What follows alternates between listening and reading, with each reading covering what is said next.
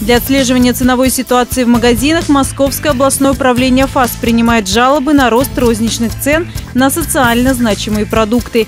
Каждый житель региона может сообщить о фактах завышения цен в конкретных магазинах. В отношении недобросовестных предпринимателей будут принимать соответствующие меры.